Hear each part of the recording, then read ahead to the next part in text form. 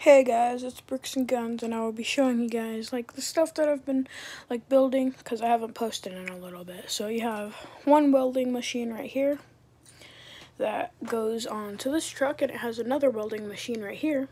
It's a first gen, I mean second gen. Tow mirrors do go up. Um, that's really it. And then you have the boat Yellowfin 42. I'm still working on it, but this is my progress. The motors do go up and down 450 mercury. You have the trailer that the boat goes on.